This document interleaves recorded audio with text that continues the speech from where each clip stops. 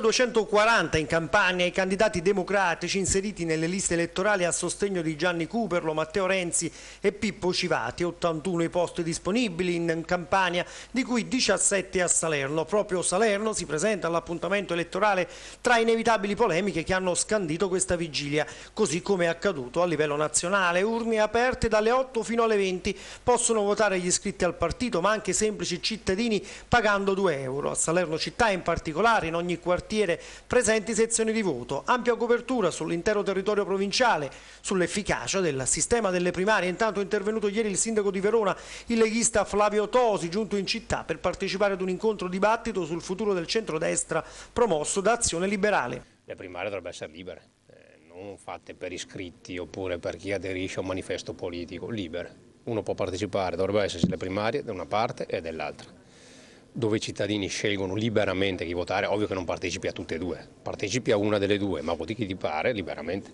In questo modo si eviterebbero tessere, brogli, regole strane, perché sarebbero libere.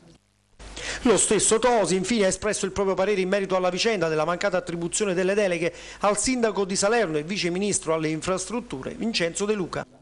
Lei si trova nella città di De Luca, eh, De Luca ha avuto sempre buone parole per lei, come lei è stato sempre eh, molto molto molto attento su quanto ha fatto eh, il sindaco di Salerno, ma su questo doppio incarico lei che ne pensa? Bah, allora io fra l'altro l'ho anche salutato prima perché giustamente tra colleghi e, e, credo che lui abbia vinto e rivinto a Salerno perché evidentemente i cittadini l'hanno scelto. Eh, sulla questione del doppio incarico credo che il problema di fondo sia quello, da quello che ho avuto modo di capire, dell'attribuzione delle deleghe perché credo di aver capito che lui è vice ministro sostanzialmente senza alcuna delega e quindi si aspetta, e questo credo sia anche piuttosto normale, che il vice ministro abbia un ruolo, perché altrimenti fa il vice ministro a nulla. Allora immagino che nel momento in cui non sarà più il vice ministro a nulla, allora eh, il problema del doppio incarico se lo porrà anche lui. Credo che se questa sia una cosa seria, capisco, ripeto, la sua posizione, perché in questo momento gli hanno detto tu sei il vice ministro e non fai, non fai niente.